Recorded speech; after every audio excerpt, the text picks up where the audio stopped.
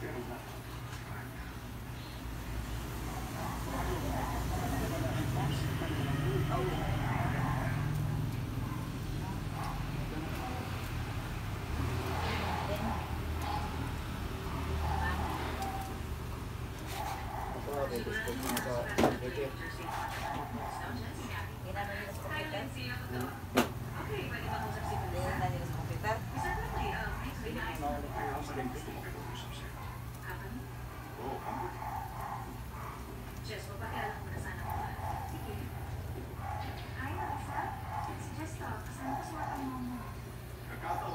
Jeffrey Trent by an unknown under surveillance on CIA.